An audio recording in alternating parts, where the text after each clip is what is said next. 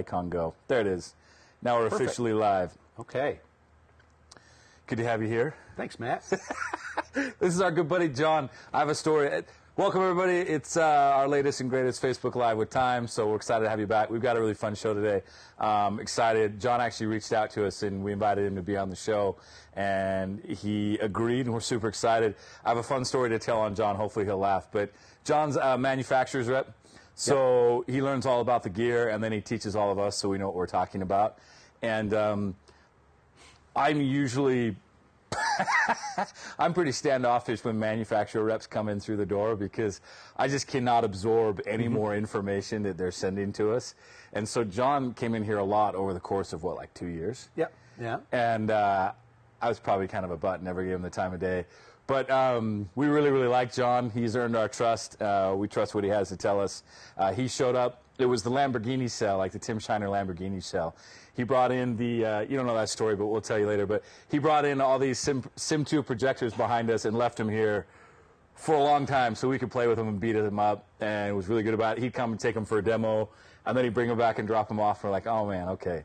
John's being awesome. And, and now we really, really like John. He's been a lot of fun to have around. So excited to have you here. And Thanks. he knows a thing or two. Yeah, I've learned a little bit over 30 plus years of working out here in the industry and talking to guys and doing huge screens and theaters.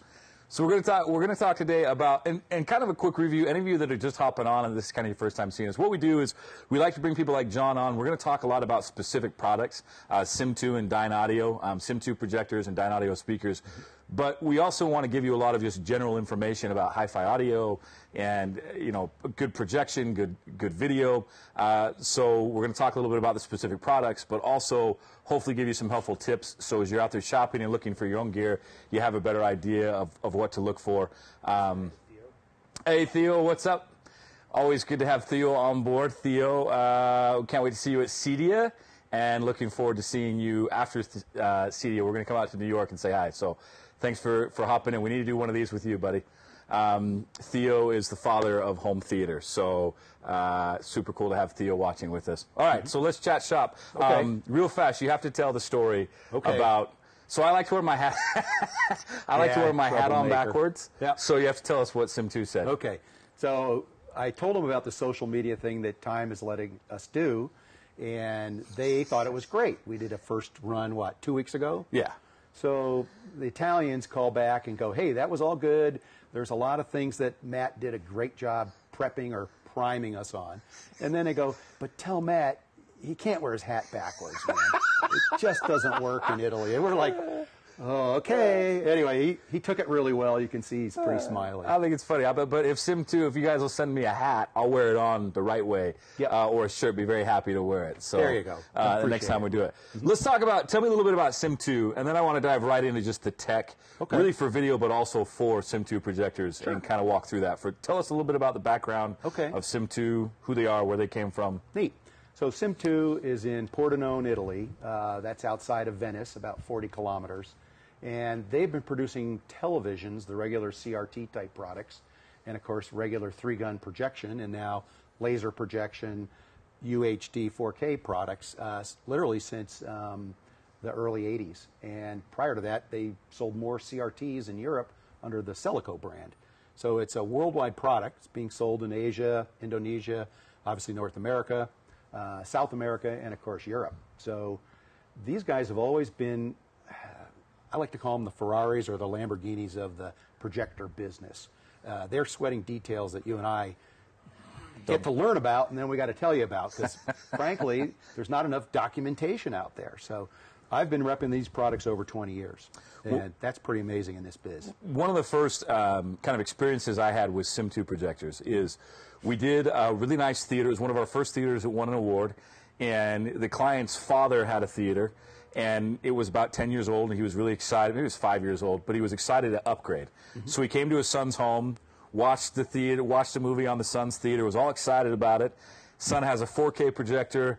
Dad has a HD sim projector, mm-hmm. and after the video, after the movie's over, he tells his dad, he's like, "Do you want to upgrade to this projector?" And he goes, "No, I, I still like my I still like my Sim 2 projector. I think I'm just going to stay put until Sim 2 has a 4K projector that I can get into." Right. And uh, I thought that was really fascinating because at that time, everybody we showed one of the newer 4K projectors to wanted it. And this guy was so in love with his Sim 2 projector, he wasn't going to go anywhere. And that, for all of us, you know, Greg, I think, remembers that was one of the first times where we were kind of like, man, Really? You didn't want to buy the 4K thing? yeah, we better start looking at the Sim2 projectors. And then you guys came uh, and sat down with our team for a while and told us all about it. And then, of course, we got the chance to watch these. We spent, um, I spent a couple of hours uh, about three weeks ago, two weeks ago. I spent a couple hours just watching by myself, which was an awesome experience. I had the theater to myself and just got to watch the same scene over and over and over and over again between the different projectors. Right. Uh, a lot of fun. But talk to me a little bit about. I'll get into specifics, but just talk to me a little bit about the tech, kind of, um, sort of the, the process that Sim2. What what's sort of their Okay. their mission? What's kind of the overarching goal of Sim2 projection, from what So you know? really what they're trying to do is make it like film and make it a natural picture. So Sim2 was uh, in the early developments of the TI chip, the DLP chipsets that we use. Uh, all of the Sim2 products are a Texas Instrument DLP device. We've stuck to that because we can get the black ratios, the grays, and the color saturation that you need to make a great picture. So their focus has always been to be a natural, not overcolored, cartoonish looking picture. Um, and they felt that TI had the best chipsets for that. Uh, other vendors do other things, but we see a sharpness and a clarity in the DLP chip. So that's our forte. When the TI 4K chip came out that was consumer usable, in other words, small enough to put into a chassis like these so that they'll actually fit in the house, not something that's the size of a fridge, uh, that's where 4K became a reality for the Sim 2 people. So our ga- goal is black levels, grayscale, color accuracy, and then last uh, resolution, which is kind of opposite of where everybody's been screaming 4K and higher resolution. And you talked about that when you first came in today, and you, you kind of just hit it, but go ahead and repeat it. You said, what our eyes see 1st Mm-hmm. Kind of walk through that. Yeah, so the first thing that the human eye will notice, because we're visual people, everybody will go to a store and say, let me see that piece. And they really want to touch it and play with it, but they always tend to say, let me see it. Take it out of the case, let me play with it. So the human eye and the brain basically see blacks. Is the picture washed out? Does it look like it's got black? Then it's grayscale, which is why you know, Matt and I have black on today, and you can see all the layers in our shirts because of the grayscale. Then color is that we don't look overly red or green or a funny tint. Now, these guys went out all weekend and got sunburned up in Idaho. So, Rookie mistake. you know, they got a little glow to them. I don't have that glow today. But color, and then last is resolution. So, resolution is an important point in this design, but it isn't the end all. And just because you have higher resolution, really for most consumers, just means how close I am to the screen. Uh, you step back one row or step back two feet, what 4K does tends to disappear. So we're, we're gonna, with that, we're gonna jump right into this and, and kind of talk in the framework of what Sim2 is doing. But Okay. I, I mentioned this on a couple of our live videos the last few weeks. I'm gonna review it real quick. But when we talk about video in general, but also when we're talking about projection for your home theater, your home cinema, there's a couple of things we're looking at. 4K is the one that most people recognize, but I read this on a CEDIA forum. It made sense. They call 4K is the main dish, but you have your side dishes with it. So you have HDR, you have your you know 8 to 12 bit color. In this instance, we really want to be 10 and 12 bit color. You've got your high dynamic range, your HDR, and then we have uh, our chroma sampling, our color sampling whether it's you know 420 or 444 where we're going to be mm-hmm. 444 basically means there's no sampling but we'll get to that. Yep. and then we've got our frame rate. So you know are we 30 frames per second or 60 frames per second? Each one of those items has a huge effect on the picture that's going on on the screen.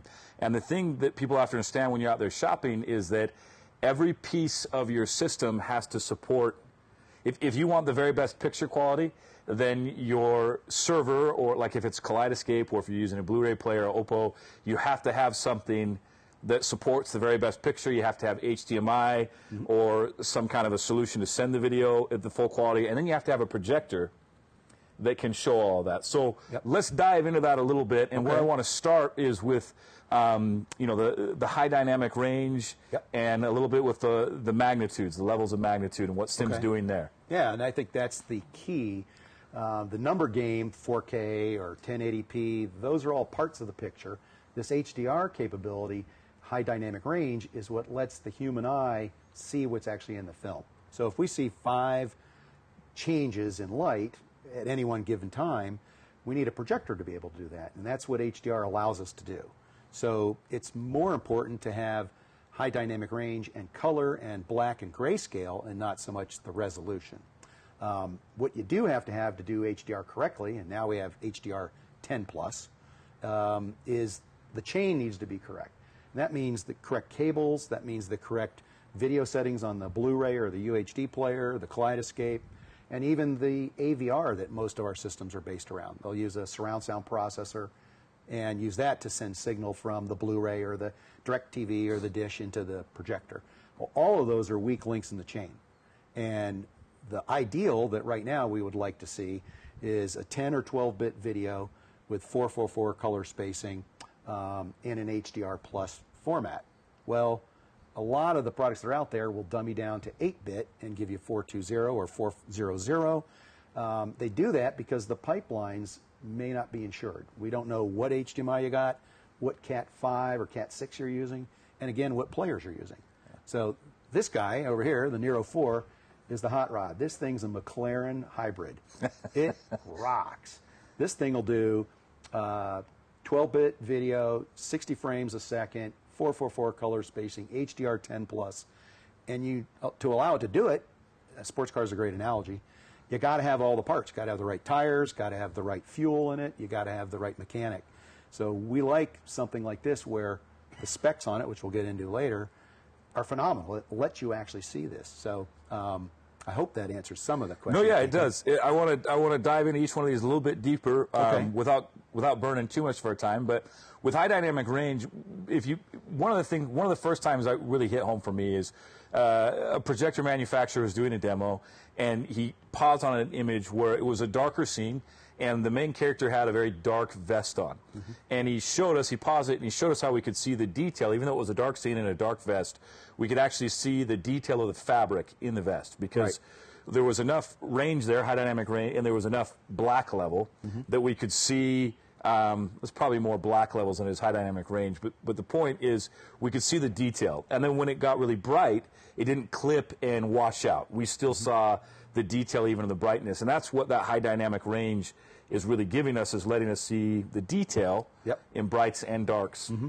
everything and that's in between. critical. I can make it black in mo- most old projectors, but then the blacks will be great, but there won't be any brightness. It won't look live or real like as I look outside the windows today. One of the, one of the things the Sim does, uh, the Sim 4S, is it really works to interpret the metadata coming from the source. So the mm-hmm. Blu-ray player or the Kaleidoscape and interpret it as close to what the studio intended yep. is possible. Exactly. Yeah, and that's really unique. This 4S has a very unique way of handling HDR. You can literally have four different settings and a user setting for HDR based on the size of the screen, the ambient room light or colors. So you can dial in the HDR. It's not a preset fix. So you can take our color calibration, you can take our uh, room's design or its parameters or the scheme of the architect, and make this HDR look and pop. Um, this particular guy is 6,000 ANSI lumens. In its big brother, we actually take two of these and stack them. You have 10,000 ANSI lumens of power. And, and, you're saying the guys at Sim 2 are saying that in order to get all of this information on the screen, the mm-hmm. best possible picture, we actually have to have five, 6,000 ANSI lumens. We Correct. can't do it with 2,000. Can you explain why? It's really because the engine doesn't have enough horsepower. And, you know, yes, it'll accept an HDR signal. Both of these are HDR units, but they're 1800 ANSI lumens on the little guy and 2200 ANSI lumens. So it'll accept an HDR signal, but you still don't see the changes in light and the magnitude of light. So photographers like this. Cameras have 14 f-stops, and you can see what that does to change the parameters of a high-quality SLR or digital camera. Well, that's what this guy does, and because of the horsepower, these, quote, can't really do that. You'll still get an HDR picture, and the little emblem will pop up when you have your HDR enabled Blu ray or UHD playing, but you can't see it all. So our competition right now that we usually see is 2,000, 3,000 ANSI lumens. Well, that's our entry level products. This is the McLaren. This is the bad boy.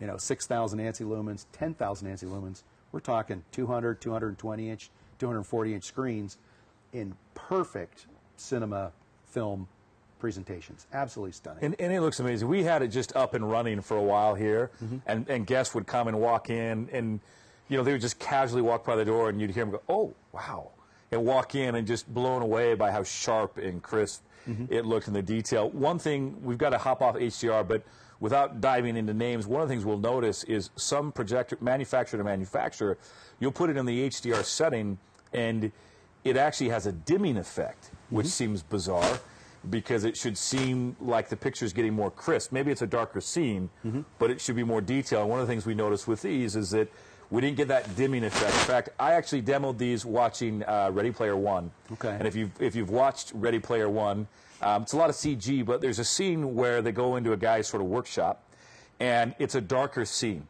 And it was fascinating to me as I switched, even within this line here, as I switched from, you know, say the Domino to the Sim 4, the amount of detail I would see in that scene, it became crisper and sharper, not dimmer. But some other projectors we watched that same scene on tend to feel dimmer, yep. That- even though it's in HDR. Yeah, so again, it's the horsepower and the optics behind the thing. This guy can do 93 line pairs per millimeter. What does that mean? Well, what it means is that the actual pixels, if I wanted to look at 8 million pixels that are coming out of that TV, you can actually see them. They're clear. They're not fuzzy. They're not blurred. They're sharp. And that is, in many cases, the most expensive item in a projector is the optics. So something here with this large piece of glass is allowing the DLP chipset to show all its strengths, which is razor clarity, sharpness, dynamic range. Um, we all know when you look at a window, if I put one pane of glass out, it's a nice clear view as long as it's clean and it didn't rain in Utah with the dirt from the typical wind and rain we get. But if I put four or five layers of glass in there, it's not a crystal clear view out of the window. So optics are critical. Optics in all of these are absolutely state of the art, the best we can possibly do. And that's why you see it. The typical response is, that thing's clean, clear, and accurate. I didn't know that was possible. So, And, and we and we definitely notice it on just to, we're going to finish up with HDR and hop on to 10 12 bit color but with Greg sitting behind the computer right now when when HDR first hit Greg explained to me that HDR is technically bigger more important than 4K but it's not gotten the same amount of press as 4K he went and saw uh, what was the movie you saw in LA at the theater? Do you remember? Yeah he went and saw Tomorrowland. It was one of the first movies they did at the El Capitan, uh, or Capitan. I probably just butchered the pronunciation there. But um, so sorry, any enthusiasts. But he talked about it. He said he talked to some people there who um, were familiar with, you know, some of the studios. And He said they're actually grading and scaling back the picture because it's too intense for most of us. Right. Uh, that's how much HDR affects it. So if you're not familiar with HDR, it's really cool stuff. And when you're designing your theater, you really want to pay attention, like he said, the whole chain. What's what's your video source? What's the HDMI or you know your fiber? How are you sending the content? And then what's your projector really capable of? Uh, and it, just if it says HDR, dig into that a little bit and find out what that actually means. Uh, and if you're you know HDR with 8-bit color is basically not even HDR. you aren't seeing it. You got to at least be 10-bit color, preferably 12-bit color Well, to really maximize that's it. kind of how we got going on it. I was going, the promise of 4K is there. I love this. Talk about this. Because guys used to sit there and go, oh, that's the only 4K unit, or that's faux K. And we were like, oh dear. So the promise of 4K is really, when you see it, it's stunning. It needs to be 10 bit, it needs to be that 444 color spacing. And frankly, if you have an 8 bit picture, you don't get the changes in the gradations of the color and the grayscale. Uh, fun numbers just for uh, a little kind of poking fun at people. So if you have 8 bit, you've got about 18 million color combinations. If you have a 10 bit processor, uh, which is what we have in a 12 bit processor here, you have 1.1 billion color combinations. That's huge. What's the first one with 8-bit? So 8 bit is up to 18 million. So 18 million to 1 billion Yeah. is the difference in color. in just color scale and color changes so that you can actually see all the hues and tints. So all our interior designers who sweat the difference between grays and blues and reds, they get it. You you can see the difference in colors. That's what 12-bit and 10-bit offers is a massive increase in that product. These guys on top of that with resolution are actually 8.3 million pixels. So you'll see 8.3 million pixels. Our competition mm, they'll talk about 4K. Some of them barely have 7 million pixels in them. So it's, again, they can talk it up. We guarantee the promise. You're going to see HDR at full dynamic range, the five magnitudes of light. You're going to see the clarity of the DLP chipset, which is fantastic. I mean, this baby even has, and I don't I want to jump too far ahead. You set it, run it for 30 minutes, reset uh, the parameters because it's warmed up, and then that circuitry stays there and locks in for all the age and differences as the projector is used. So it never drifts off of the settings that it's been locked into. And- with when we start talking, in, and this was a great segue into the 8-bit, 10-bit, 12-bit color. We're moving now from 10-bit and on to 12-bit color, and it's basically giving us, as you mentioned, you know, we're going from was that 17 million to 1 billion um different color variations. I love to think of it back in art school or art class. You would take your your black and your black pencil, and you would sit there and you would shade from left to right, the the brightest to the darkest, and not trying to go back to high dynamic range, but you would see black is always black, mm-hmm. but we get more shades of black on our way to that color. Or blues always royal blue is always royal blue, mm-hmm. but now we're getting a lot more variance on our way to royal blue. Yeah, and you know it's killer on that one. A good analogy for me is the crayon box. You know, did Yeah. you want the box of 12 or the box of 24 or the box of 48 or you were really in heaven as a kid when you got that giant box of about 144 colors. Yeah. You didn't even know there were that many colors on the planet. And that's and that's. I remember when we first started seeing this years ago when the 4K TV started coming out. One of the things that people would notice about the color is that it almost made things start to feel a little bit 3D because there was so much information Yep. and the color. It looked incredible, and people would stand there and go, "Wow!" It just pops. Yep, that's definitely what happens in the 10-bit and the 12-bit. Those color changes and that ability to fine line details between changes in color or grayscale and blacks, that's what makes the picture look real, which means 3D. I mean, we've all had 3D projectors or 3D TVs, and you know, the kids smash the glasses or the kids step on stuff or the thing discharged, and you know, you're not going to watch the 3D movie without the glasses. right right along with right along with and, and this is important because when we're talking about high dynamic range mm-hmm. and we don't want our brights to clip out and wash out we've got to have the color there as well to help with that. So Yeah. we've got the gradients that we can move from um, but when we're talking about color we also have what we call chroma subsampling or color spacing. And we're talking about you'll hear people when you're looking at specs you'll see things that say it's always three numbers and the first one's always a four so it'll say 420 or 422 or 444 and basically and correct me if I'm wrong here, but for those of you that are watching this and are curious, they used three colors and then a combination of light to put all of the color on our picture. And what they do is they can't put all that information out on the screen, so to compress it, they pull one of those colors out mm-hmm. and they work with two colors and light to create all the colors on the screen. So 444 means basically there's no color compression. They've left all Yep. three colors in, so we're getting the best possible color mm-hmm. that we can get on the screen. And, and these are able to do content in 444, which Absolutely. is phenomenal. Yep, and the, that difference of that 444 for the end user is that colors are accurate, colors don't get pumped up artificially and look cartoon-like, flesh tones look right. You don't have all these. Eh, the best thing is cartoonish-looking, emphasized color. So when you sample it correctly, our problem again, and this is where the integrators and you guys are the pros. The pipeline's got to be good. If I don't have the right type of cabling, I don't have the right type of video switchers, um, you won't get all that information through. It's just like in the old days, how big a wire did you have to get power to the loudspeaker? You know, uh, you better not use 28 gauge wire to power a loudspeaker. You better use 14 or 16 gauge quality copper wire. And that's the problem we're bumping into. Most of the installs I go to, somebody missed something, or, and you guys are the pros, you're using so many sources into so many different variables, and the end result is a beautiful picture. Well, that takes masterpiece knowledge. talking about, and, and we don't have time to go into this, but we have hit on this a lot. It's why we've been talking a lot about using fiber. Um, John also reps for some other lines that help with uh, balance and video distribution that, that minimize the compression. Um, so you're getting all of this good content out to the projector. Two quick things on the projector, and then we'll hit price points. We'll jump over to Dynaudio. Okay. Um, number one is. Um, the live color correction.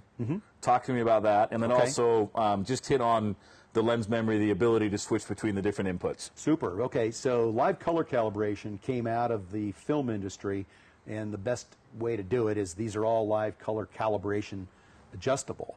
But it, what it really means is that I can take, or where it came from, I should say, is in the movie industry, people are taking film and doing uh, production with all different types of cameras. But the end result is you want all those cameras with their differences to look the same in the final end product.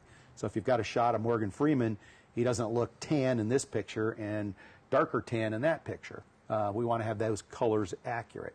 So that software that we uh, have invented is used in the auto industry for color calibration of paint finishes to people in California and the, in the studios, making sure all the film looks exactly the same to the final result. So we can do that with these devices. So live color calibrations done by your uh, your integrator by these guys with a laptop. Once it's set, you don't ever have to mess with it again. But literally allows you again to compensate for room color, room design, type of output of the projector, type of screen materials. I mean, we haven't even talked about screen materials. That's a whole other game, guys. And who's shifting to green and who's got sparkle or whatever. So we like that idea, and I think that kind of gets kind of what we're doing with live color calibration. Yeah, and and I and I think from from kind of a from my perspective, watching it, it's it's immediately noticeable. So if you walk in and you get a chance to demo a Sim 2 somewhere and you watch it, you're going to notice these things. You may not be able to articulate what you're seeing, but you're going to notice that it's crisper, that it's sharper, that the color is real.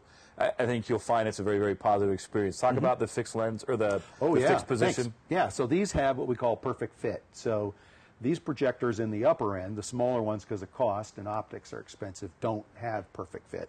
But perfect fit allows us to do 235, 2.4, 16 by 9, 1610 aspect ratios all electrically into the projector. So I can have multiple settings for each input to change the size of the screen. Uh huh. And I can literally set it up for DirecTV daylight viewing, DirecTV nighttime viewing. 235 when I go to film, 24 when I have a film that's in a different ratio. Avatar was 1610, I believe. So I can change those aspect ratios if I have a screen set up with that capability. So this thing will automatically do it. You guys can program it in.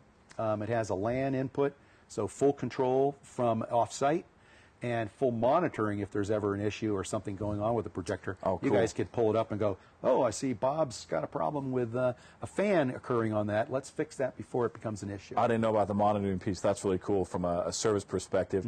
Uh, real fast, run through price points, retail. Okay, yeah. So we start in the uh, Domino 4. So this is our entry level. We just introduced this this spring, 2018. This comes in at a $9,000, uh, is 1,800 ANSI lumens, and packs quite a punch. It's a great one. I mean, I love that you saw this one, and then you go, wow, this wasn't disappointing. This was really quite good. Yeah, very Uh, exciting. Crystal is at 15,000 retail, and it's got a little more juice, 2,200 ANSI lumens, same uh, optics, and it does not do that perfect fit. And then the Nero 4S comes in two configurations. This one shown here, and then a double stack, and that is $30,000 for this guy. And if you do the double stack, 10,000 ANSI lumens, it's I mean, you won't ever leave your room. Uh, that guy comes in at forty-five thousand dollars for that array. To do two of them. To that do stacked. two stacked, yeah, and that's our extent right now with the 4K product. More to come, more models to come.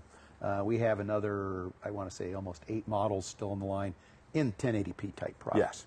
Yeah, yeah, a really good full line at Sim 2. These are specifically their their new 4K line. But again, we had a chance to test them for a while. Really enjoyed them. Clients who came in and saw them were excited about them, and um, we're excited to start showing these to more clients. I think as you're out shopping and looking, if you can find a Sim 2 dealer in your area, I highly recommend going. Or it sounds like a lot of times, if you're serious, um, they can even bring one in, and if there's one nearby, they can bring one in and demo it um, even do a side by side for you. So very definitely worth checking out. So uh, thanks Sim2 for letting us borrow them for a while and uh, letting us borrow John too. It's been hugely helpful, and we're excited about what you're doing. Let's uh, change gears here for a little bit. Okay. John also reps Dynaudio, and I, I got to just preface this. So people bring in speaker lines for us all the time. We're pretty loyal to our speaker lines. Uh, but he brought in one speaker, and I don't even remember the model. You probably do. Yep. And and they put it in just like a really quickly prefabbed box, so it had a housing on it. And the thing that we noticed about it, the sound was incredible, but the thing we noticed is that for a traditional in-ceiling speaker, there was a very full range of sound. We don't usually get that kind of range Right. in one speaker. So we got a lot of bass, we got some good mids and highs, but I'm just laughing because you're telling us exactly what I've done 14 demos now this month with this product. Not necessarily here, Montana, Idaho, you know, obviously in Utah. And you play this product, it's a six inch in ceiling loudspeaker. And I've got it in a car audio box with a Rhino line, nothing glorious looking. And we've demoed this thing with Sonos amps, car audio amps from Alpine or Arc or you know Zapco to D'Agostino monoblocks, Parasound power amplifiers. It doesn't matter what, guys. I'm playing this six-inch 2A in a little 12-inch box, and we're doing critical listening on this thing. It blows people away.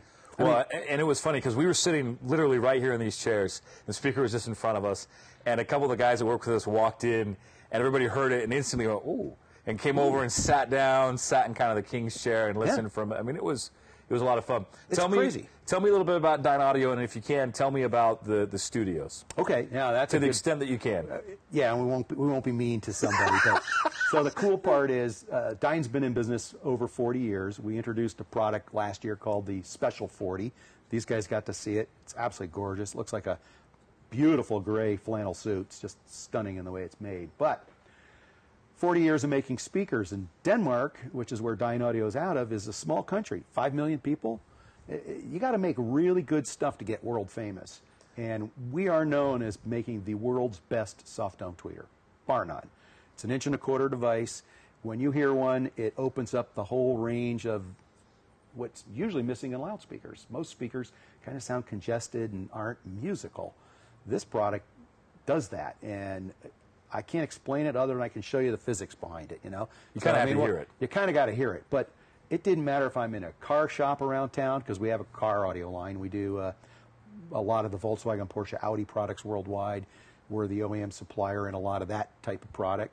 At the same time, we've got these amazing home speakers that go from 800 a pair up to 115,000, 140,000 dollars a pair. So there's some rare air up there, but we're in 80,000 recording studios worldwide. That means that the music you guys are usually listening to was mastered and mixed on my speakers. So you're literally bringing that back to the house and hearing exactly what the guy heard and did on the mixing board in the recording studio. It's it's insane. You guys heard him. We played it on a little tiny what 50 watt amplifier. And th- there's a little bit more of that on Dynaudio's website, right? oh yeah, they, they, About- fan, fantastic. About the we get in the Abbey Road. Can we say that? Yeah, well, I don't. I hope I don't get in trouble. I mean, it's not in trouble. It's too good of a story It's not to share. So there's a really great video on Dolby Atmos Theater with a brand that's out there, uh, and it works great. But you'll go into that demo of the Atmos Studio on it's on YouTube. At a minute 45, you'll look into the background, and in the background, in this Dolby Atmos 24 pairs of speakers ceiling array, it's all Dynaudio, not the other guy. Yeah. So I won't mention who the other guy is. but, but you'll realize that those guys are recording with our product, and we have that pro product available today here in the states. You can do exactly what they're doing. Uh, we have speakers that can go into cinema that'll do 135 dB of sound pressure, which is insane. 135 dB. I don't want to be in the room. Um, and now we make uh, an in-wall product, and that's kind of my segue here. Is Yeah, tell us about this. Is really So, cool. This this is is for kinda the cool. sound bars, right? Yeah, so this is like for sound bars or in-wall product. And so what we do is we've got in-wall, six-inch, in-wall eight, an in-wall, sorry, an in-ceiling six and an in-ceiling eight, and then this combo, which I call the Lego set. And basically, you can snap them together, and I won't do it so we uh, make a mistake and drop them, but they'll literally snap together like this, or they can be put in different uh, stud stud wall bays, so that when they're laying underneath your TV, this will be centered on the TV correctly, and this one can be in the next bay, or they can be tied together, or I can have them up and down, and then we make a grill that literally can be custom sized to go completely across the bottom. So I have this nice seamless look at the bottom of the flat panel television, which is neat. What I like this for, and why I pull it out, is these are toolless install. So they're very easy for you to put in. They'll go into a uh, three-inch deep wall. So if you've got a, um, you know, a fancy plaster job or something a little different than just half-inch sheetrock, but the build quality of these products is insane. This is a five and a quarter inch driver, so that's common size. If you look at that, how big's that voice coil, Matt? It's plenty good. It's like three inches. I mean, we're talking about a product that's this big, and the voice coil's that big. So the type of control, the power handling of this speaker, the sweating the details of how this driver acts is unprecedented in our industry. Typically, it's a half inch or one inch voice coil. and they and they sound great. And from a, from a kind of a practical standpoint, uh, you know, we did a lot of work with production builders, and one of the things that happens with these homeowners is they want to have their TV centered on the room. And they want to have a sound bar recessed underneath or Yep. center channel. And a lot of times the home builder won't let them do what they need to to accomplish that and make that sound bar perfectly centered. They can't do like a little window box Right. to house a speaker. Having something like this, even in new construction, is huge mm-hmm. to be able to center that aesthetically and for sound reasons. And then if you're doing some kind of a retrofit, same thing. Great opportunity to get those speakers centered directly under the TV. Yep. Really helps a lot aesthetically, but the sound's amazing as well. Yeah, and that's I think what is the, my my favorite part of the whole demos has been. It didn't matter if I'm in a car shop, or integrator or a high-end audio store. They're playing anything from Adele to you know rap music to the rock and roll guys, and they all sit there going, "I haven't heard a speaker do that," and they start smiling and they get goosebumps. And you know, one of the key things with music and video and film is the better it gets, the more it's closer to real, and then the closer it is to giving you that same experience again. Because you know, you re- you play a great song, it'll bring you to tears. You know, it'll make bring back memories of when you were in high school or whatever. And if Same it- thing with film. with Dynaudio in general, correct me if I'm wrong, but they they've been around a long time, but they're kind of recently making sort of this new push um, with kind of a a more full line to Yeah. kind of hit a number of different price points and, and applications. Uh, and that's kind of when you started coming and talking to us about. It was Yeah. Sort of a new rollout, basically. Yeah, so literally three years ago, a Dynaudio made a worldwide push instead of just making beautiful looking cabinets out of Denmark and gorgeous sounding speakers. They figured out we're going to we're going to ramp it up. We're going to take this to a worldwide approach. We make some of the finest loudspeakers in the world, and we're going to go out and get the word out. So we've expanded into the custom install products. We've expanded our range of high-end speakers. Um, at the same time, we've come out with now what we call music, which is a series of uh, desktop or tabletop audio systems that you can stream lossless audio into wireless. wirelessly. Um, some of them are portable, battery powered. Uh, the bigger ones actually have um, eight-inch woofers in them and would sit on top of a table as a almost a sound bar if you wanted to. That product is uh, just been introduced, and it's giving a, us lifestyle products basically. Yeah. So yeah, we can do sound bars, we can do in-wall, in-ceiling, Dolby Atmos theater, these music systems, um, and then what's a rage right now in Northern Europe and in uh, uh, Asia are powered speakers. So what we have is bi-amplified, tri-amplified, and actually quad amplified wireless audio loudspeakers that are absolutely gorgeous, going up to the $15,000 a pair range and all the way down to the $12.99 a pair. And it's stunning to watch people listen to these. You just need a phone, Tidal, Spotify, whatever you want to use for your music source. Turn them on, and you're listening to you know 24 192 lossless audio off your iTunes or whatever you want to use, Huh. and They gonna have no those- wires. They gonna have any of those at CEDIA? Oh yeah, we got them. I have a pair here. That we can listen to? Yeah, I'll that bring 'em sounds over like for fun. you guys. That sounds They're like fun. We'll- We'll, we'll They're try like- those out. Yeah, that thing's got 600 watts RMS per speaker, full DSP control, full room correction. I mean, it's crazy what these things can do. Well, we're, we're, we're super excited about the Dynaudio line. I think it's worth checking out if you're looking at speakers. Um, this is not going to be a contractor grade. If you're No. looking at you know fifty dollars, sixty dollar a speaker price point, uh, Dynaudio is not going to be for you. If you're looking for something that's going to give you amazing sound, you're going to pay a little bit more for it. Granted, they do have some really good price points Mm-hmm. on sort of their entry level. What do they start out at? So the regular speakers, floor and bookshelf, is 800 a pair. That's the retails on their Yeah, and, and for for a hi-fi type speaker, those are great prices. Yeah, and that that product range, depending on whether it's Excite or um, you know the various models we have, Consequence and Confidence and so on. But um, in the in-wall products, we have that $600, 800 dollar a pair range. The newer products like this LCR, that's a product that's in the 1,600 to 1800 dollar a pair. Which Uh, sorry, piece retails. Which is actually a phenomenal price because when you start shopping custom sound bars, which is I would say this falls into that category of a Mm-hmm. Custom sound bar, uh, it's very easy to spend two thousand, twenty five hundred dollars for Oh, a yeah. custom sound bar. Yep. Um, so that's a phenomenal price and it's such a great application, Mm-hmm. and again a great sound. So. Again, they- they're not your value line speakers by any stretch.